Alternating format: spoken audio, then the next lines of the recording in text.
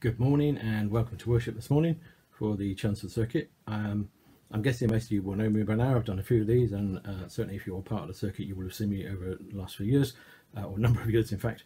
But uh, for those of you who don't, my name's Jeff, and I'm one of the local preachers in the Chelmsford Circuit. And you are most welcome to join us and to join me this morning as we worship together through prayer, through understanding Scripture, uh, through singing. Um, it's a joy to be with you. It's a joy that we can do this in this way, uh, particularly for those people maybe who can't get to church in person. Uh, you are most welcome. You are part of our community. You are part of our family and part of our church. So as we come together, um, let's pray. Lord, we come together in your presence, no matter where we are. We are all joined together as your family and uh, as your disciples. And so we come, we come with open hearts and with open minds. We try and set aside everything that's happened, whether this morning or or earlier in the week, anything that gets in the way of us simply resting in your presence, focusing on you and worshipping you. And so, Lord, we come in fellowship, we come in faith, and we sit before you, ready to listen, ready to open our hearts and our minds to that which you would share with us. Amen. And we're going to uh, sing now.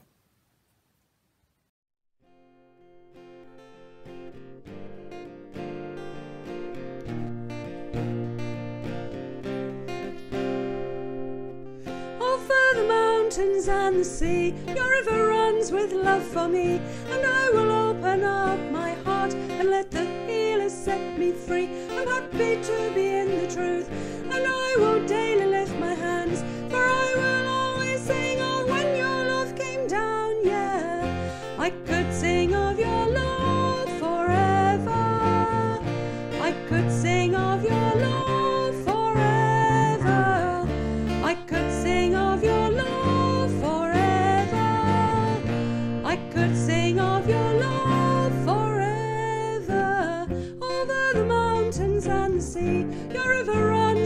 love for me. And I will open up my heart and let the healer set me free.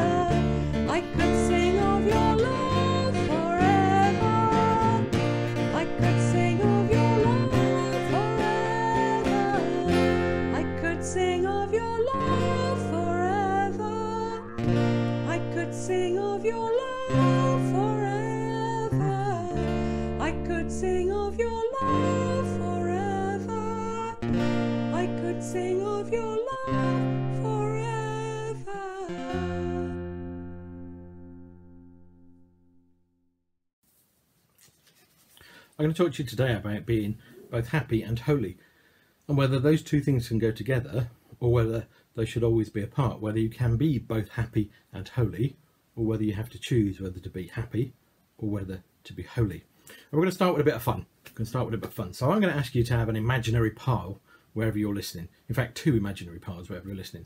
One of those piles is for holy things, and one of those piles is for happy things or things that make you happy. Now, if I can do this, I'm going to hold up some pictures, and I want you in your mind to think which of those piles am I putting it on. So, first one, here we go, is some people singing. So, what I need you to decide is that going on the happy pile or is that going on the holy pile? Now, next one is a house. Again, is that going on your happy pile or on your holy pile? How about today? How about Sunday? Happy or holy? Let's try perhaps one that's a bit easier for people. Chocolate. Happy or holy? Now this is one that, uh, that caused quite a bit of debate when I've shown this one before. Sandals. Happy or holy? You can decide whether they're sandals with or without socks and whether that makes any difference to you. Bible. Which part's that going on? What about your church? I appreciate it may not look like this, but what about your church? Is it happy or is it holy? And then what about prayer? Again, which pile are you putting that on? Your happy pile or your holy pile? Now I'm guessing that some of you just sat there and gone, well, some of those are really obvious, Jeff. I've just put chocolate on happy maybe. I'm guessing most people have. Um, and I suspect that most people have just put Holy Bible on holy, clues in the name. But what about those that could go on both piles? What about prayer? Can prayer make you both holy and happy? What about your church? Is it a happy place and a holy place? Does it have to be one or the other? What about that Bible? What about that Bible? Can we not read the Bible? Can we not listen to the Bible and feel happy, even though it's holy? And that's what we're going to think about. We're going to think about whether there is this mutual exclusivity between happy and holy, or whether some of those things come together in the middle, and what that means both for us and for the people who we meet day by day. So uh, we're going to think about that a bit later on as we explore that in a bit more detail. I'm going to read to you from Psalm 128. It's called a Song of Ascents, and this is what it says. Blessed are all who fear the Lord, who walk in his ways. You will eat the fruit of your labour. Blessings and prosperity will be yours. Your wife will be like a fruitful vine within your house. Your sons will be like olive shoots round your table. Thus is the man blessed who fears the Lord. May the Lord bless you from Zion all the days of your life. May you see the prosperity of Jerusalem, and may you live to see your children's children. Peace be upon Israel.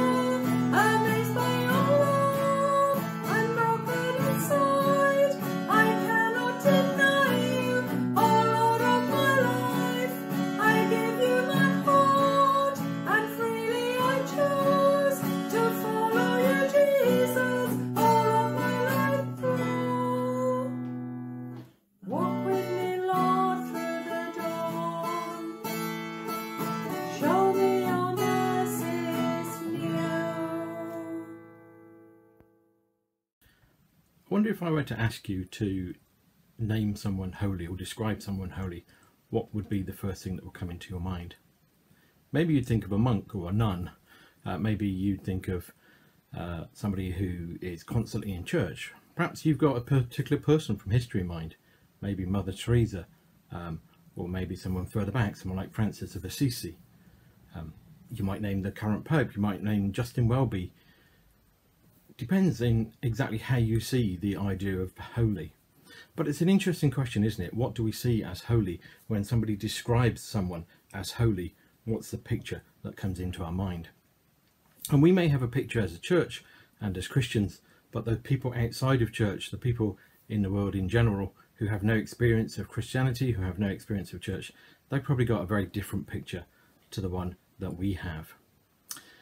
And I guess that most of those people are going to have a picture that um, is of somebody who's quite dour, somebody who uh, is following a set of rules and a set of regulations, and um, they probably see them as somebody who maybe can't have fun uh, and uh, who's doing certain things at certain times. Uh, and and for example, they maybe say, oh, it's it's somebody who always goes to church. A holy person is somebody who goes to church every week. Um, some of you, I'm sure, have had that question when you've been out or when you've been talking to people, and they they probably don't say to you, "Are you holy?" but they probably say to you, um, "Are you religious?"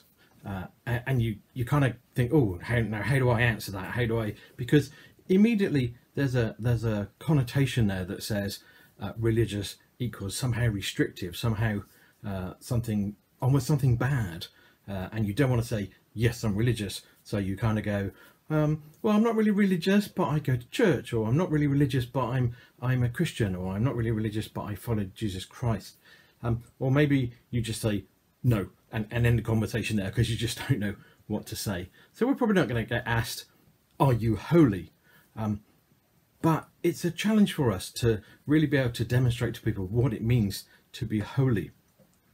And it leads to a question um, as to whether somebody can be both holy and happy. When we looked at some of the things earlier, you remember there was chocolate, and, and you might have put that into a pile that said uh, happy. That's something that makes me happy. Um, I, am doubting that any of you put that into a pile that said, I view chocolate as holy. Um, if you did, you probably got even more of a chocolate problem than I have. Um, so generally, we would have said chocolate was something that was happy. When we looked at the uh, the picture that said Holy Bible on it, as uh, uh, as uh, one young girl said to me when we looked at this before, she said, "But it's obvious. It says on it Holy, so that must go into the holy pile. And there are certain things, aren't there, that people will say, that's holy, or that's something that makes me happy. And it leads to this question, as I've said, of can something sit in the middle of those? Can something be both holy and happy? You know, if I asked you that question of think of somebody who's holy, if you've got a Methodist background, you might have said John Wesley. Why would you say that? Well, because there's a couple of things, aren't there, about John Wesley that we're that we're taught, or certainly that that I remember, um, maybe from uh, local preacher studies, or maybe from before that. One of the things was about John Wesley getting up at half past five every morning to pray for two hours each morning before he uh, progressed with the rest of his day. Now, you might look at that as something really holy to do. You might look at it as something really committed to do. I look at it as something incredibly hard to do. Um, I like my duvet far too much to be getting up at half past five every morning.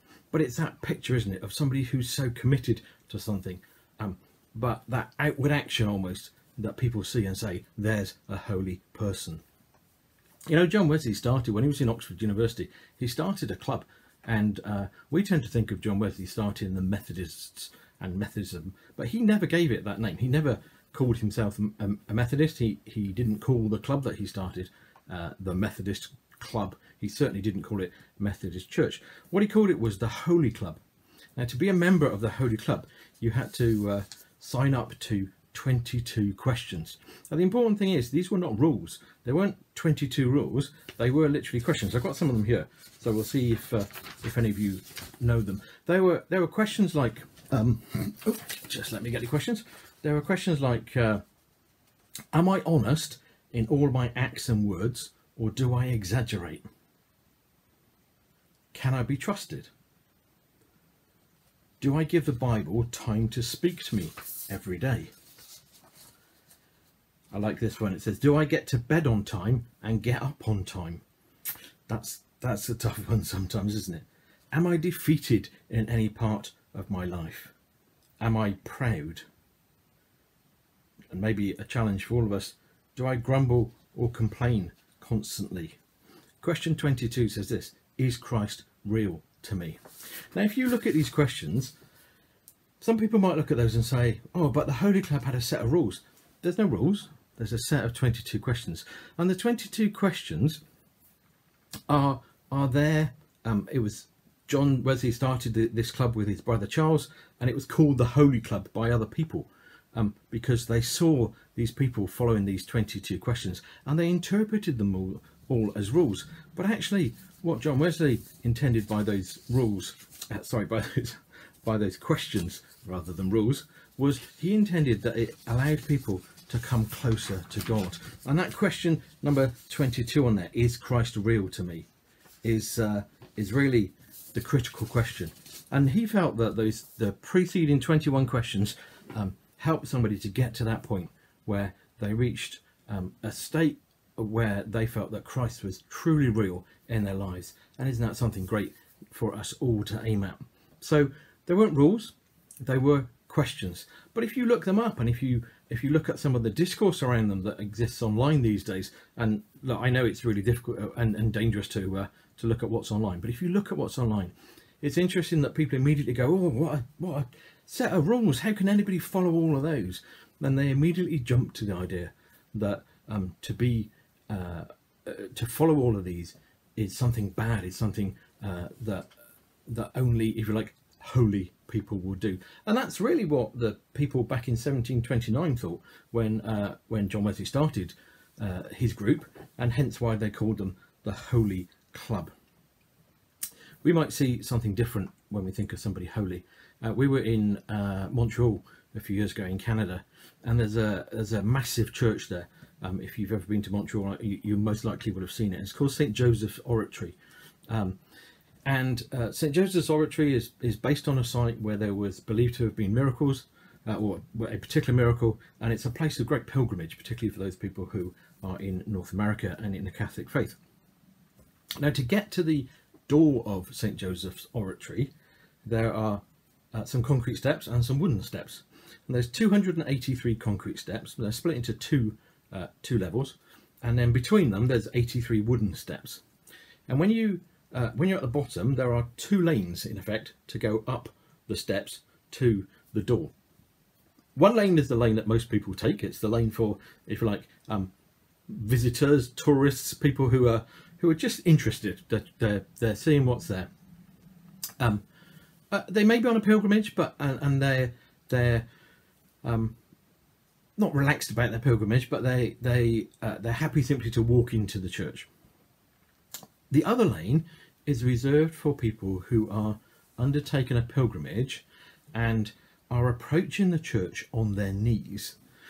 And, and, this is one of the things that is particularly done at St. Joseph's Oratory in Montreal, is that you ascend the steps, the 283 concrete steps and the 83 wooden steps, you ascend them on your knees as a sign of your holiness and of your penitence and of your approach to God. Now, I'll be honest, it, it's something that I find quite strange but I can understand why some people may feel that they get something from it. But you imagine somebody just generally in Montreal on holiday or uh, just a local, um, it's a massive university city, some of the university students, seeing somebody going up those steps on their knees. What do they think? What do they then associate holiness with? Do they see holiness and happiness as being something similar, or do they see holiness as something that is a, a labour something that potentially brings pain. Maybe when you talk to your friends or your colleagues, uh, if you're if you're working, uh, maybe to uh, people in school if you're in school, um, they view the mere fact that you the mere fact that you attend church on a Sunday or the mere fact that you're listening to this as being something that makes you holy. It's a funny thing, isn't it? We wouldn't necessarily think of it in that way. And you know, whatever it is, it, it kind of doesn't matter. The the challenge is that people will often see that in their eyes, holiness is associated with hardship and with rules that must be followed, uh, and and in some way with a restriction on their lives. You ask most people about the Ten Commandments, and what they're going to say to you, they're going to say there are a set of rules. They are a set of rules. Let's not get you know, let's not get away from that. They are a set of rules, but people will say there are a set of rules that place a restriction on your lives, and and yet are they really? Are they really rules that set a restriction on our lives? Just imagine for a minute that it's Christmas afternoon. You've done the presents, you've had the turkey, you've got a new board game. The family are all there. You've maybe already watched the Queen, so we're talking like half past three. And somebody says, let's play the new board game. So you get out the board game, and one person says, oh, I've played this before. I know the rules, let's go. So you start playing the game, and halfway through, they do something and you will go, well, that wasn't in the rules. And they say, oh, yeah, no, no, it was. I remember now. It was in the rules. And then, okay, carry on. And then five minutes later, somebody else says, well, I'm doing this. I think that's in the rules as well. Very quickly, that's going to descend into complete chaos and probably um, one heck of a family argument on Christmas Day. What happens is somebody says, let's just read the rules in the box first, shall we? Let's read the rules and see what it actually tells us we should do. Because once we know that, once we all understand the framework that we're working in, and, and we're all working to the same rules, this game is going to be much more enjoyable. We're going to have far less arguments. We're going to get on with one another much better. And you know, life's a bit like that, uh, and that and the Ten Commandments are, are a bit like that. They give us a framework in which to operate, and if we all operate in that way, then life would be much easier for everybody just imagine for a minute if everybody said, I'm not gonna I'm not gonna be jealous about what other people have got. I'm not gonna have an affair with anybody else. I'm I'm gonna make sure that I don't uh, I don't kill anybody else. Just imagine the difference that that would make in the world.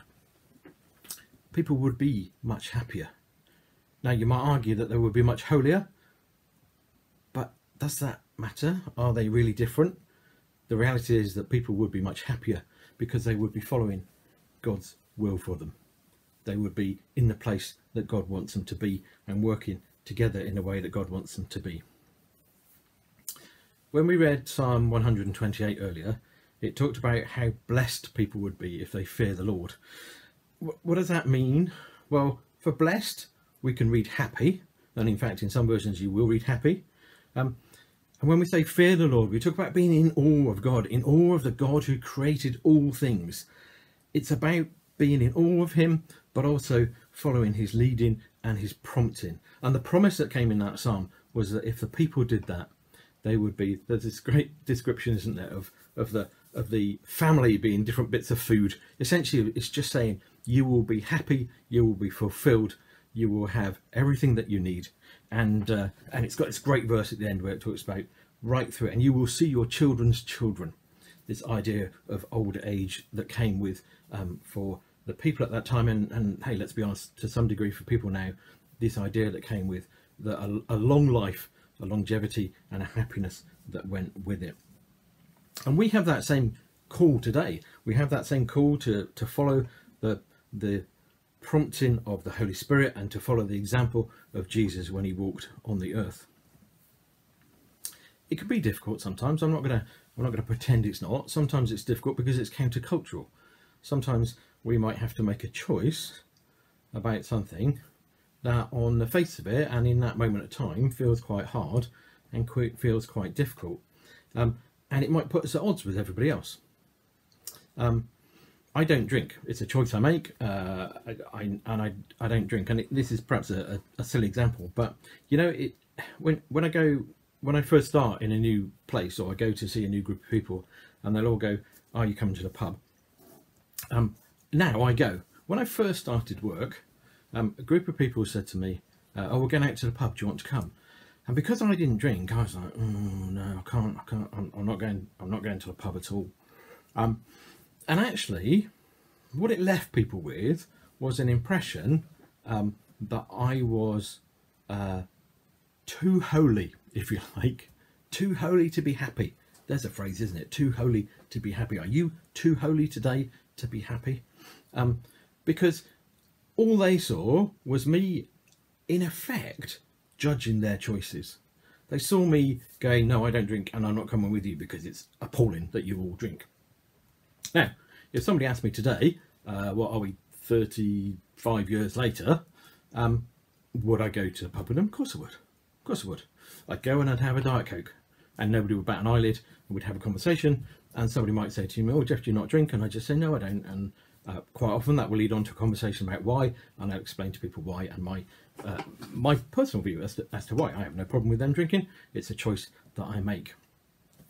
But in doing that, I'm engaging with them and I'm I'm I'm sharing with them and I'm I'm making friends with them. I'm making friends with the people uh, who are around me. And you know that's the challenge, isn't it? Sometimes is that we can hold on to that which we believe while at the same time not becoming so separate from people that they see us in the way that people back in the 1700s in Oxford saw John Wesley and his friends as a holy club that was only open to a few people. Because that's not what we want, is it? Jesus came for everybody. Jesus came so that everybody had an opportunity to be in a relationship with God. And we need to make sure that the things that we do and the things that we say really don't get in the way of that. That we don't um, we don't separate out holiness and happiness. Rather, we show people this fantastic opportunity that they've got to be part of God's kingdom. This fantastic opportunity to have Jesus as their friend and to be given hope and joy and peace through the power of the Holy Spirit. And that's what we want. That's what we're called to do. You know, we can we can say to people in answer to the question, "Are you holy?" Maybe we should say, "I'm both holy and happy." Maybe I'm wholly happy. There's an interesting response. I'm wholly happy. What matters is that what we present to everybody is a view of Christ that's an honest one. But remember what Jesus said when he came.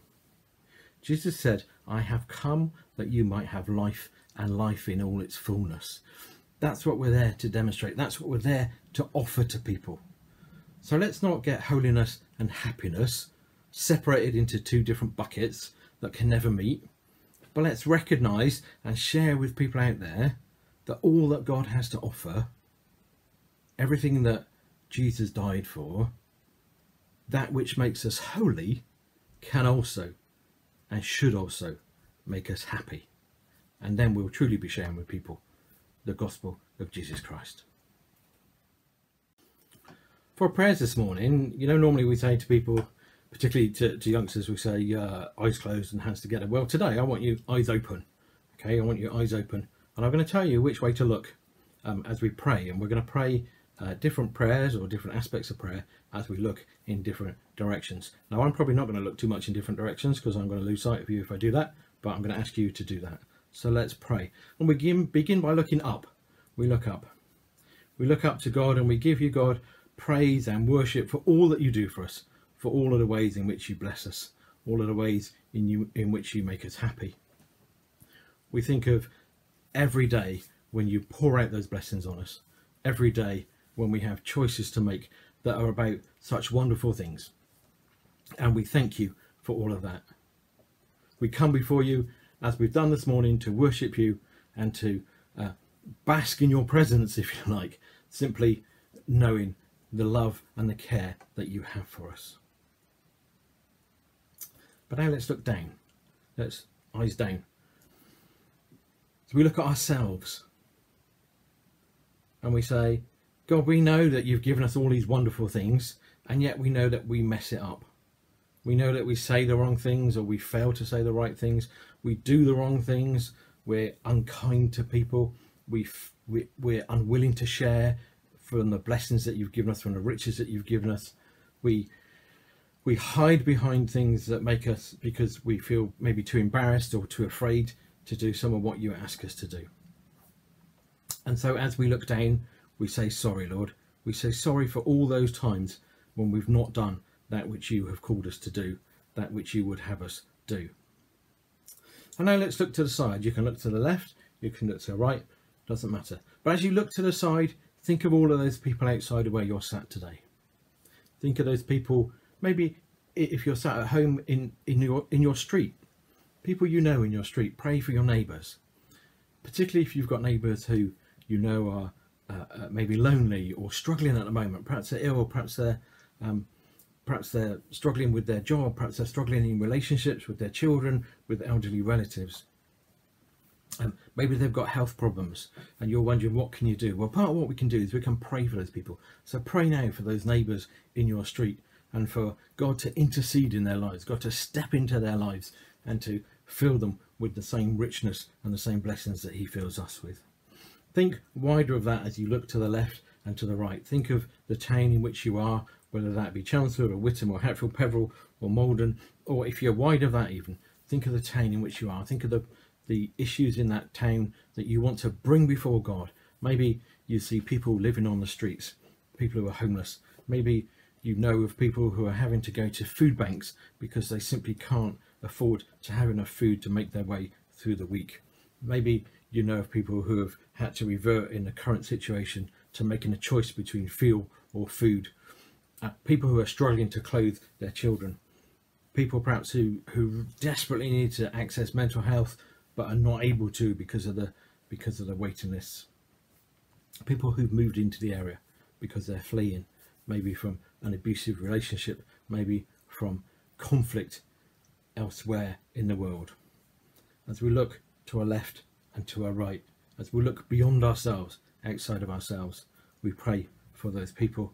We pray for the Holy Spirit to bring them peace, to bring them healing, to bring them comfort, to bring them joy, to bring them that which God knows they need. And then look straight ahead. Look forwards. Look forwards to the future. Pray for the things that are going to happen in your life and in the life of those people that you know and love tomorrow and the day after, the rest of this week, the rest of this month. Pray God's blessing on them. Pray that they be both holy and happy. Pray that they are filled with the Holy Spirit. Pray that they have the courage to do that which God would have them do. And pray that you can be, that we can all be a light in their lives, that we can be those people that God has called us to be, his representatives on earth, showing the way, showing the one true way that we see in Jesus Christ. And so, whether we look up, whether we look down, to the left, to the right, whether we look forward, let's do so as people of God, as we offer these prayers to Him, who looks at us every day, who never takes his eyes off us, who's never far from us, that God who created everything and yet knows you and me individually. Through him and in him, we offer these prayers. Amen.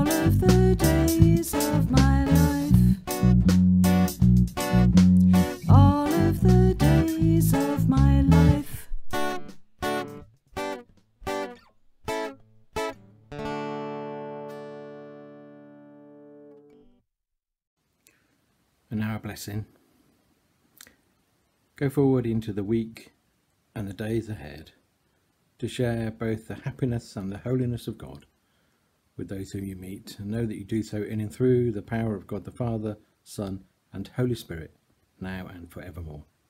Amen.